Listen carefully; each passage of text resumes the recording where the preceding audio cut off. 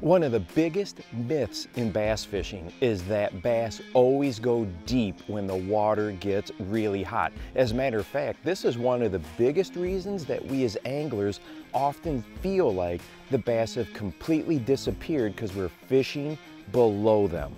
The hot days of summer rob our waters of dissolved oxygen. And if you're fishing a body of water that doesn't have much natural movement to it, that water's gonna stratify or form what we know as the thermocline.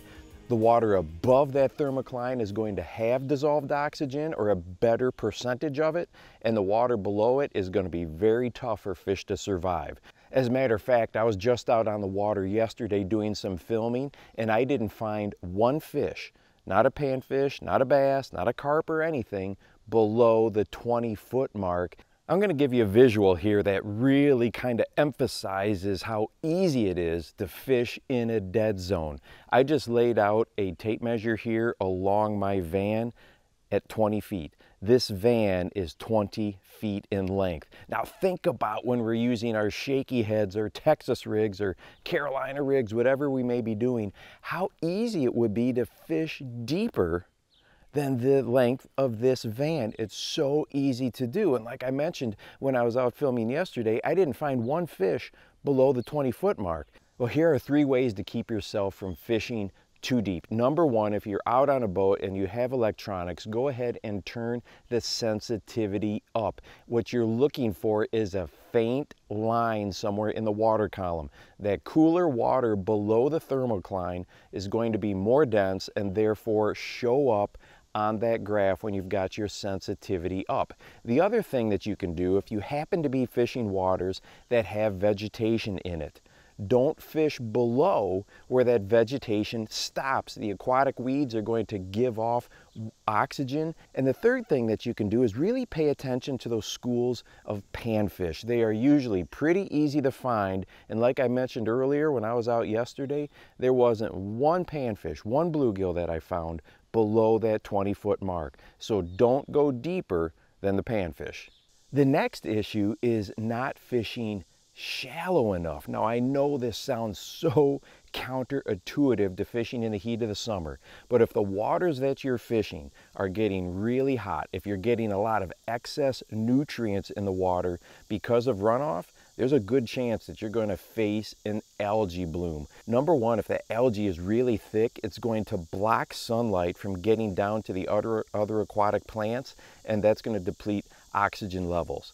Next is if you start to see brown streaks through that algae, that means it's dying off. And when that happens, it just sucks oxygen right out of the water. There have been multiple lakes that I have been fishing on where this is happening and the bass that I caught were in less than a foot of water and as tight to the shoreline as you could possibly get. Well, if the bass are in less than a foot of water, you can also visualize how easy it would be to fish not shallow enough. So once again, we've got our lures in that zone where the bass just are not at. Pause just a second and think about that depth.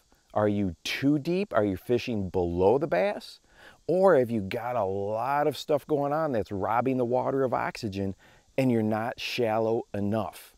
And this third factor is so important. It's something that we just often get ourselves in the routine and don't think about, and that is the awareness level of the fish. This time of year, between recreational boat traffic and fishing pressure, these bass have been bombarded for months now, and they are very in tune or aware of their surroundings. They're acting off instincts. Take a look at this summer bass right here. As I got near it, it pulled off of this shoreline brush. It was right on this brush edge, just casually slipped a little bit deeper water, made a loop, and went right back to where it was. Well, if we're an angler fishing down this shoreline and we're not being careful, we're making too much commotion, our lures are, are maybe entering the water with a big splash, and that bass is like, huh, something's not quite right, we're not even going to know it's there. Now imagine this happening again and again and again.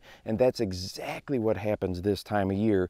We are not being as stealthy or careful enough as we need to be, and those fish are there if we've got that depth figured out, but they are just kind of slipping out of the way and then coming right back. So that strike zone or that distance that they're willing to go chase something could be way smaller than let's just say two months ago. So we have to be so careful on our approach.